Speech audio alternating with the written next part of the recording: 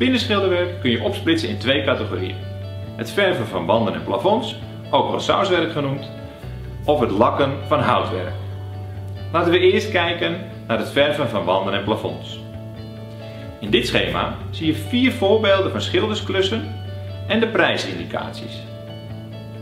Hierbij zijn we uitgegaan van een gemiddelde slaapkamer van 14 vierkante meter en een gemiddelde woonkamer van 45 vierkante meter.